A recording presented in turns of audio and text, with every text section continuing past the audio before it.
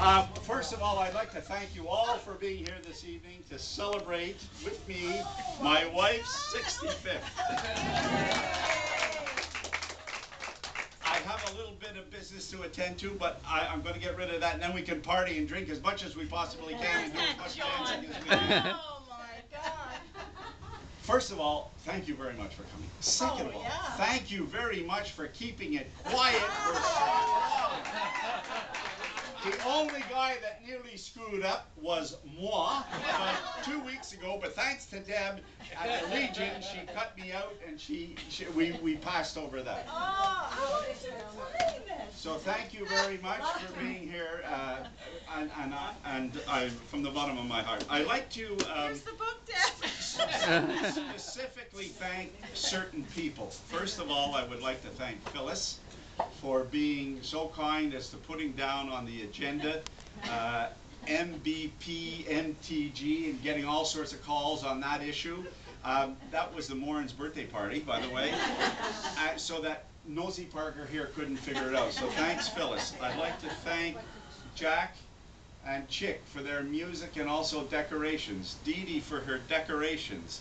I'd like to thank uh, Mike for his bartending. So if the, if the wine is not hot, if the wine is not warm, blame it on Mike.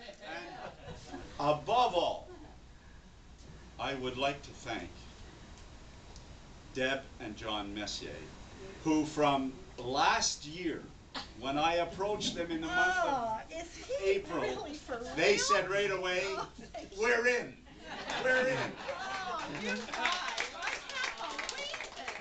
I am the hardest person to put anything over on. I'm telling you. To, for him to do this, it is like I, I'm telling. I have never in my life been so surprised. Never.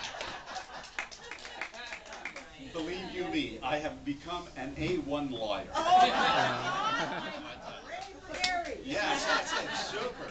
Um, I just, I don't know if, if, um, uh, Deb had mentioned it, but there's a little book that I hope you're all signing. Uh, and then there's a little, little box there for Daystar, it's a little donation. We, we work on behalf of Daystar and it's for the homeless, uh, here in St. Petersburg. So if, on your way out, if you wanna make a little donation, please feel free. On Tuesday, I'm bringing it down. It is not going towards the Gary Morin Retirement Fund. It's, it's, it's going, it's going, here, sweetie. It's going, Seen you so quiet. Oh my God! You know me. I mean, I know. I can always figure out things. I you know. Oh, yeah, and, can't and she nearly, just, just yesterday after we come back uh, from, from the uh, shopping in Costco and what have you, you know, what does she do? I wanna go on American Express. I said, no, don't go on American. So, so, and if you sign the book, please, please do, because it's, it's gonna be a good souvenir. for- And I just had a conference call I'll from my three kids. For those people, those people don't know, I have one in Portugal, one in Cambodia, and one in Montreal. And they got on a conference call on Skype, and I just got off from them. And they're saying to him, well, where, where are you taking mom for supper? Well, it's a surprise, I can't.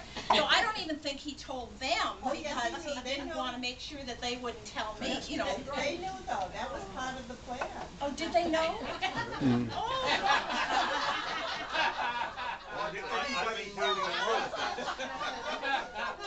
I'm so glad this is coming to an end.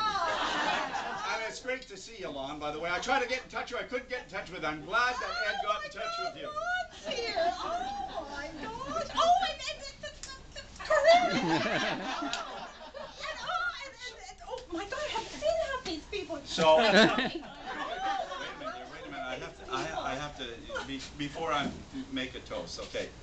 I, I have to tell you a little story. Forty, um, sixty-five years ago, uh, my wife, well, she wasn't my wife then, she was born in a little town called Kakubri, Scotland. It's a border town, it's right on the coast. It's, it's pronounced Kakubri, but it's spelt Kirk Cud Bright, but it's Kakubri. And her parents had a, a chance to emigrate either to Australia or to Canada. So they chose Canada. And to make a long story short, 18 years later or so, I was declared, I was declared, the smartest man and the luckiest man in Canada. The smartest man because I asked her to marry me, and the luckiest, she said yes. Okay, my only regret in all these years, exactly 42 and a half years today, exactly 42 and a half years today, is that I haven't said I love you as much as I should. Anyways, so I would like I'm cry. No, no, no. You'll be happy with it. So, dear, uh, with all your friends here and what have you, uh, I would like to wish you a happy 65th. Happy birthday. Thank you so much. How about a kiss? How about a kiss? There you go. Now, before you put your glasses down and what have you, we have one more little thing to do. A little bird has told me that on this same day, this same month, a couple of years earlier, a certain person was born too, and her name is Emma. So let's sing happy birthday. Happy birthday.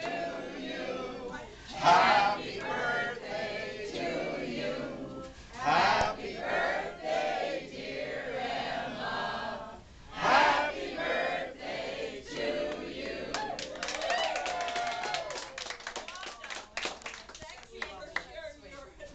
I had something with look, I mean, us Aquarians have to stick together. I told them, I told not to say it.